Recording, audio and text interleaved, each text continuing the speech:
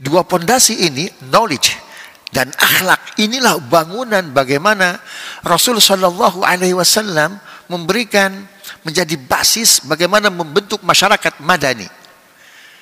Ada equality karena dengan ilmu dan akhlak tidak membeda-bedakan apa pun. Al muslimu man salim al muslimuna min lisani wa yadi. Orang Islam adalah ketika orang lain aman dari lisan dan tangannya.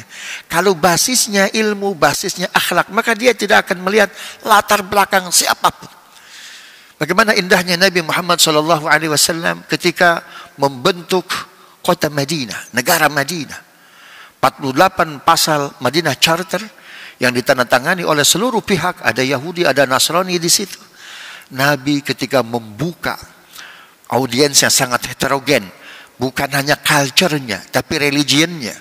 Nabi tidak membuka dengan Assalamualaikum. Nabi membukanya dengan Salamun ala manittaba'al huda. Sehingga semua teranyomi. Salamun ala manittaba'al huda. Salam sejahtera bagi mereka yang mengikuti petunjuk Tuhan. Salam yang luar biasa.